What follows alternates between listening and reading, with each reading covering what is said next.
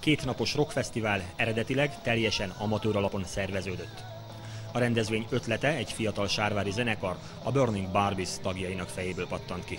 Egyik zenekari próbán találtuk ki, hogy milyen jó lenne, ha lenne itt egy raklapnyi zenekar, és, és mindenki zenélne egy jót, meg buliznánk rá egyet, és hát innen jött az első Raklap Fesztivál ötlete.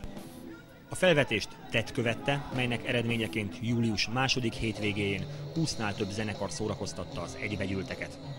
A zenészek Nyíregyházától Körmendig az ország különböző pontjairól érkeztek.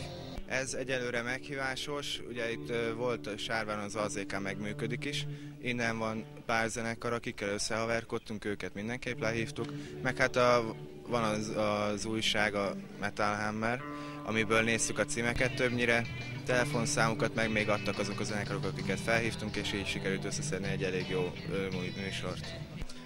Hát egy csomóféle zenei stílus ebben az irányban képviselve van. Vannak heavy metal zenekaraink, new metal, tehetségkutató nyertes new metal, modern metal, hard rock, szerintem elég sok rétű lesz a fesztivál. Vannak olyan zenei szaklap által istenített zenekarok, akik, akik felnépnek nálunk, mert ismertük őket, és, és hát elfogadták meghívásunkat és fellépnek. Ilyen például az Insane vagy a Dying Wish, akik már egy lemezes zenekar, és, és már, már boltokban lehet kapni a lemezeiket, és, és mondhatjuk azt, hogy, hogy ők már befutottak egy szinten. A fesztivál megrendezéséhez a Kossuth Lajos Művelődési Központ nyújtott segítséget. Ez az intézmény mindig is fontosnak tartotta az önkifejező amatőrmozgalom támogatását.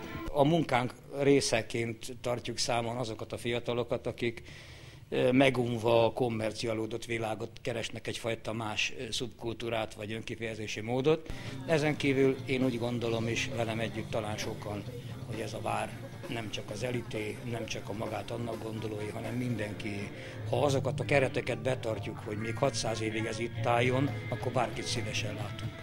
A szervezők a rendezvényt hiánypótlásnak szánták, és egyben komoly terveik is vannak a jövővel kapcsolatban.